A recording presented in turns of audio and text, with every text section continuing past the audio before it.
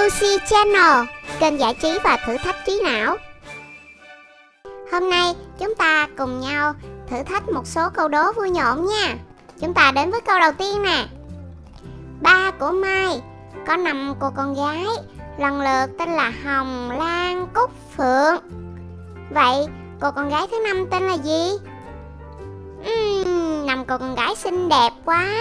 Chúng ta có 10 giây để suy nghĩ. Hello, mình là Hồng. Mình là Lan. Xin chào, mình là Cúc. Còn mình tên là Phượng. Mọi người đón tên mình đi. Mình tên là gì nè? Hết chưa? Các bạn đã có đáp án chưa?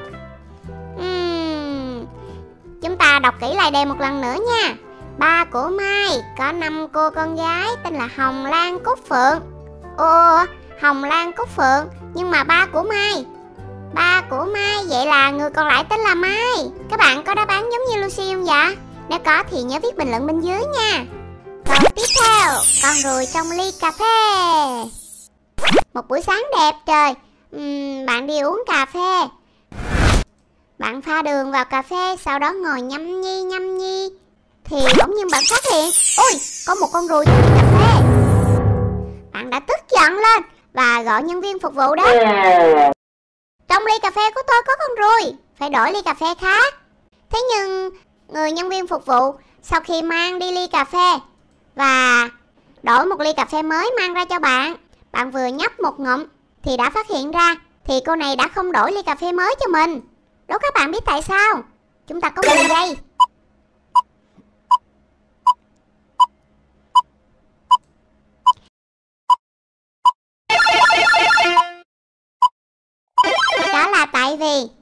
bạn có thói quen uống cà phê rất là ngọt. Cho nên, ly cà phê lúc nãy bạn đã pha đường vô rất là ngọt rồi. Nhưng cô gái này, khi mang ly cà phê mới ra, Thì có vị ngọt y chang vậy luôn, Chứ không phải một cái vị như một ly cà phê bình thường.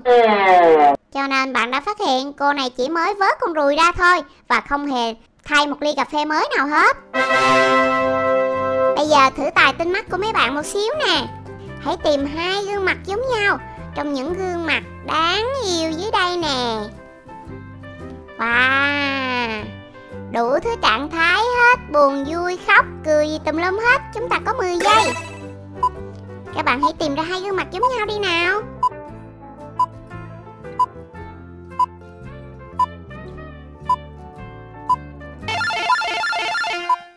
Hết giờ rồi, các bạn đã tìm ra chưa? uhm, gương mặt gì mà nó gần gần giống nhau mà nó lại khác nhau? Khó tìm quá, đúng không? Nhưng mà Lucy tin rằng có bạn tìm ra đó. Đây, hai gương mặt giống nhau nè. Một bạn đang đeo mắt kiến và gương mặt ở dưới đây nữa. Các bạn có trả lời chính xác không dạ? Mình tin là mấy bạn trả lời được, đúng không? Rồi, chúng ta qua câu tiếp theo nữa nha. Tìm cái chữ y trong hình dưới đây. Chữ y dài mấy bạn? Chúng ta có 10 giây ừ, Nguyên cái bản toàn là chữ ít không à. Ở đâu ra có chữ y dài ta? Các bạn đã tìm ra được chưa? Hết giờ rồi. Đây chữ y dài nằm ở đây nè. Thật là khó nhìn đúng không? Nhưng mà Lucy tin rằng có bạn đã nhìn thấy được đó. Bạn nào nhìn thấy được thì nhớ bình luận phía bên dưới nha. Để cho Lucy biết. Bạn có đôi mắt siêu lấp lánh siêu sáng luôn. Câu tiếp theo. Một nơi thoải mái. Có một chàng trai sống ở nước ngoài. Và chính xác đó là ở Pháp. Nhưng mà anh chàng này có một cái sở thích rất là kỳ cục. Đó là không có thích nhìn tháp Eiffel Sao kỳ vậy? Nhiều người lại thích tháp Eiffel Nhưng mà chàng trai này lại không thích nhìn tháp Eiffel Vậy thì anh này phải làm sao đây? Ừ. Mỗi ngày anh đã lựa chọn một cái nơi rất là an toàn, Ở ngay Paris, Nhưng mà không phải nhìn thấy tháp Eiffel. Đố các bạn biết anh ấy đã chọn nơi nào? Chúng ta có 10 giây.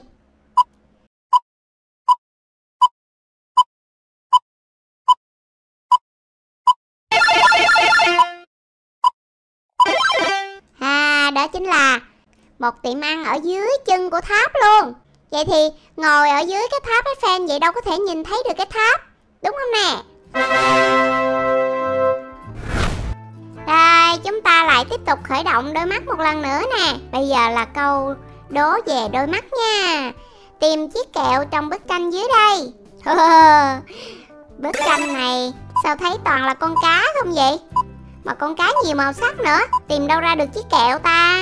Các bạn ơi, nhanh lên nhanh lên. 10 giây đang bị bị trôi qua một đoạn rồi kia Hết giờ. Các bạn đã tìm thấy chưa vậy? Đây, chiếc kẹo đây nè, Chiếc kẹo màu xanh. Các bạn đã từng ăn lò kẹo giống vậy chưa? Một viên kẹo được buộc bên trong, Chúng ta muốn ăn, chúng ta phải xoay hai đầu của nó Thì mới tháo ra được cái ni lông phía bên ngoài.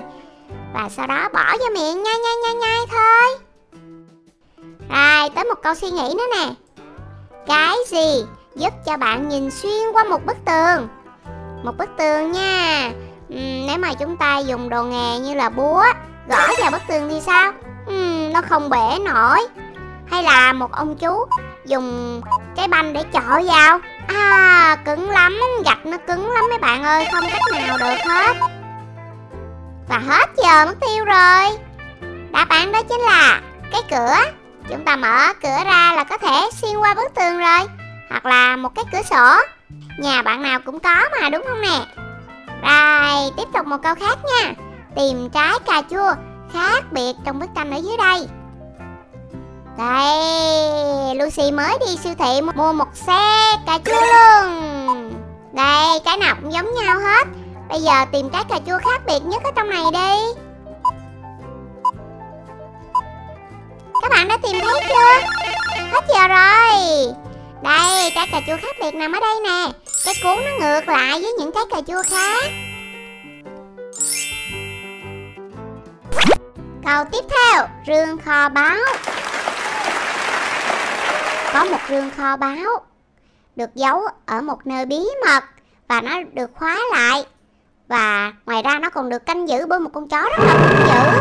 Và ở gần đó có ba chìa khóa đen bạc và vàng bạn thì muốn lấy báu vật ở trong cái rương rồi đó. Vậy bây giờ biết chọn chìa khóa nào đây? Chọn đúng thì sẽ mở được lấy vàng bên trong.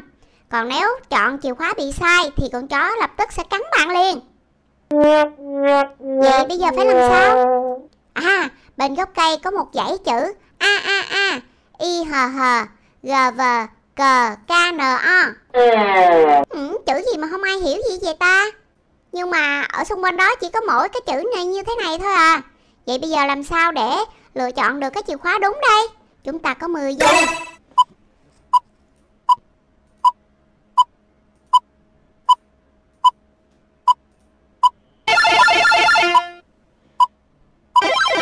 À nếu chúng ta chịu khó ngồi sắp xếp lại cái chữ này, thì nó chính là chữ chìa khóa vàng mà lúc đầu nó đã bị thay đổi vị trí thôi à vậy đáp án đó chính là chìa khóa vàng